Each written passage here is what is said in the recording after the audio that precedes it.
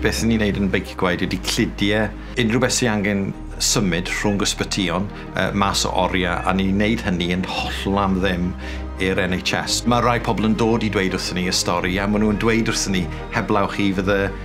plentyn ni ddim yn byw neu fydd y tad fi ddim yn byw oherwydd ydych chi wedi dod ar moddion. gwobr nath ni ennill wedi bod yn help mawr mewn sawl ffordd. Mae'r gwobr yma wedi helpu ni i cael mwy o gwirfoddolwyr sy'n golygu ni'n gallu cynnig mwy o gwasanaeth.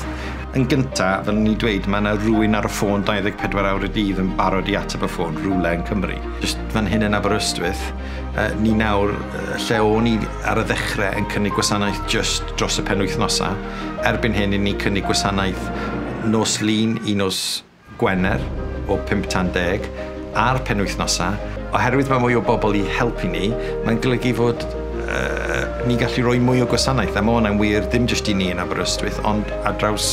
uh, yr elusen trwy Cymru. Mae gwobr yma wedi helpu i ni a mae pobl yn sylweddoli y gwaith dyn ni yn wneud. Ni'n gwirfoddoli a ni'n wneud y gwaith yma'n ddim a ni, mewn ffordd, chi ddim yn neud ar gyfer y diolch, ond pan mae rhywun yn dweud diolch trwy gwobr fel hyn, pan mae rhywun yn dweud wrthych chi, diolch yn fawr, ni'n cydnabod beth ydych chi'n neud, ni'n dweud, dyma beth ydych chi wedi neud i ni. Mae'n ffantastig, teimlad ffantastig pan mae rhywun, yn just, rhywun arall o tu fas yn dweud, da iawn, dyma beth ydych chi wedi wneud, a dyn ni'n falch iawn o beth ydych chi wedi wneud. Ydy, mae'n neud gwahaniaeth, mae'n mae mae helpu ni i cario ymlaen oherwydd weithiau,